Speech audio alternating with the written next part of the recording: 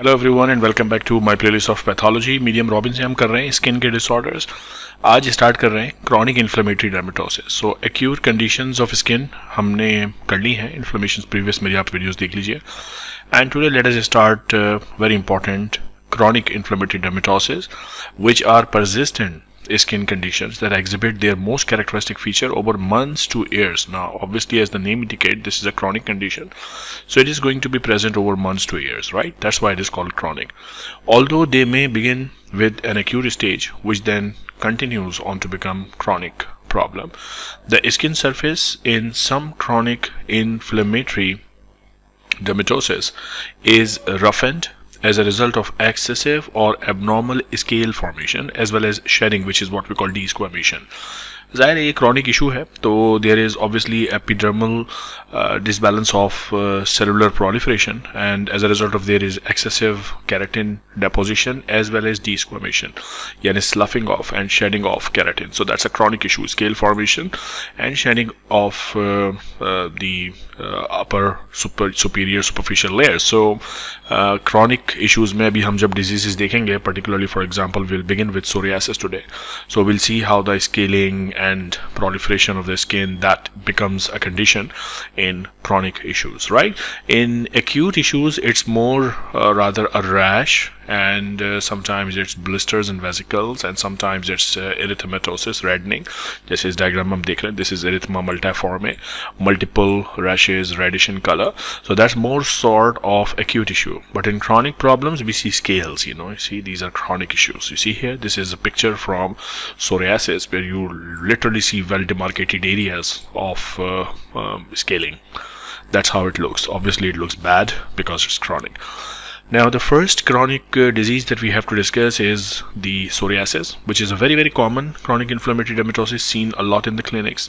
It affects 1 to 2% of individuals residing in the US.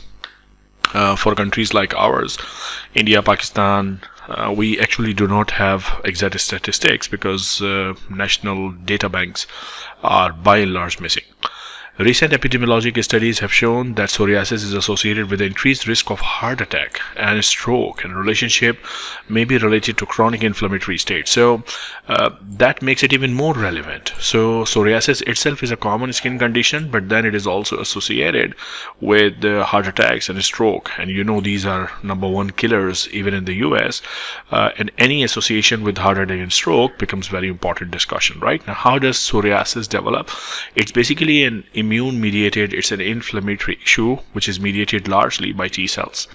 And uh, it is assumed to be because of autoimmune issues. Yani there is an antigen which the T cells should actually not be identifying but they start identifying this and then they start reacting against the antigen okay और कौन सी antigen है वो भी exactly exactly पता नहीं है you know how immune system works right so if there is a cell it is expressing an antigen uh, the T cells will either recognize or not recognize it if it's a self antigen they will usually not recognize it but if they start recognizing the self antigen this is what we call autoimmune issue now what is the antigen which is inciting the T cells in case of psoriasis we actually don't know right Now, um, researchers have identified that psoriasis has a genetic link as well as environmental factors which contribute to the development of psoriasis. It is, however, unclear whether the inciting antigens are self-antigens or they come from the environment or that is a combination of two. So the antigen which initiates the T cell immune mediated reaction is not very clear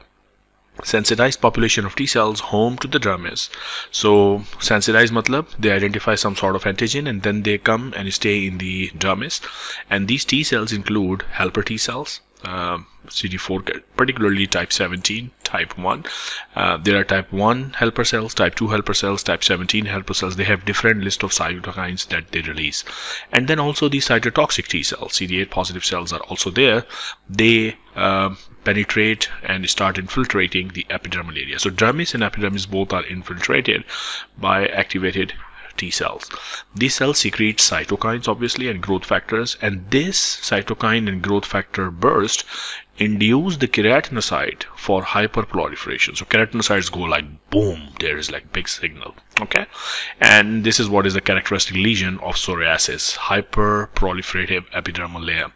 Psoriatic lesions can be induced in susceptible individuals by local trauma and this is known as Koebner phenomena. So if somebody has an HLA predisposition for example genetic predisposition for developing psoriasis or they have sensitized T cell a little trauma can lead to hyperproliferation so that's the thing that they're talking about here. And this thing is known as Koebner phenomena. Genome-wide association studies, which are genetic studies, have linked an increased risk of psoriasis to polymorphisms in HLA loci. So that's why we think it has a genetic predisposition. Okay.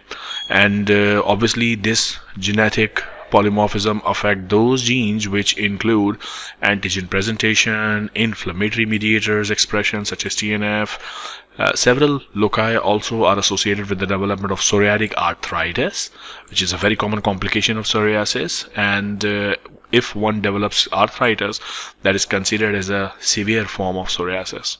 Okay.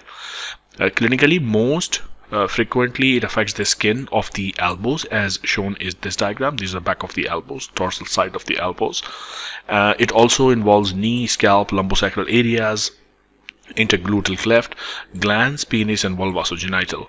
Nail changes on the fingers and the toes also occur in about 30% which is a big number of the patients. In most cases psoriasis is limited in distribution but it can be widespread and severe so it can affect like multiple areas of the skin.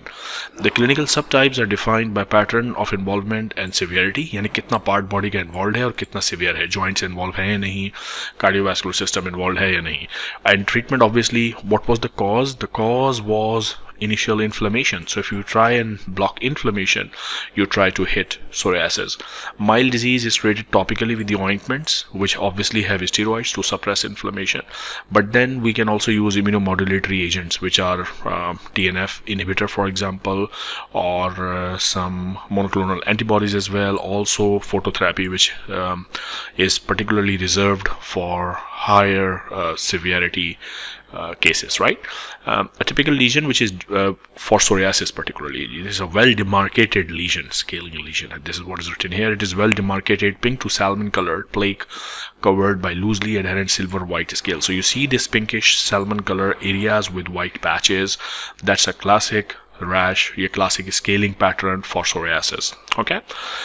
Uh, that's the thing that you have to remember now one more thing which is very important that the vessels bleed readily when the scale is removed so अगर ये patient यहाँ ज़रा सी भी खुजली करेगा ना खारिश करेगा दे bleeding उसका रीज़न ये होता है because this is well explained here if you look at this diagram what happens कि uh, psoriasis में there is hyperproliferation of epidermal cells and uh, the dermal papilla which is this area it becomes deepened you see.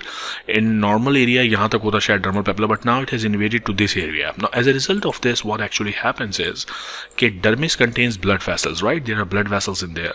Ab ye blood vessel agar yahan tak hai because this is the dermal epidermal junction na? This is epidermis and this is dermis. So blood vessels are only in the dermal area. अब अगर ये dermal area papilla वाला deep हो जाएगा तो blood vessel यहाँ तक आ जाएगी। अब देखिए this is a very thin layer of epidermis here as oppose to this this is a thick layer of epidermis अब बंदा अगर यहाँ पे खुजाएगा तो ब्लड वेसल इतना नीचे पड़ी हुई है। लेकिन अगर यहाँ खुजाएगा तो ये ऊपर के सेल्स निकलेंगे, बिल्कुल नीचे ब्लड वेसल है the patient will start bleeding so psoriasis के पेशेंट में ये कॉमन इशू है कि ज़रा सी खारिश करो, ये ज़रा सा टच होगा and they because the blood vessels are very near to the epidermis again look at this area you see that is the length of epidermis so blood vessels are right there आप ज़रा सा इस area को हटाएँगे, यानी खारिश करेंगे थोड़ी सी etching होगी तो ये ब्लड वेसल्स को आप एक्चुअली हिट करेंगे and they will be oozing out of blood and this has a typical name which is known as Auspitz sign so this is also asked very much in the exam what is Auspitz sign and why do you see Auspitz sign in patient with psoriasis so with this we end the discussion about the pathology of psoriasis next disease करेंगे अगले video में take care of your self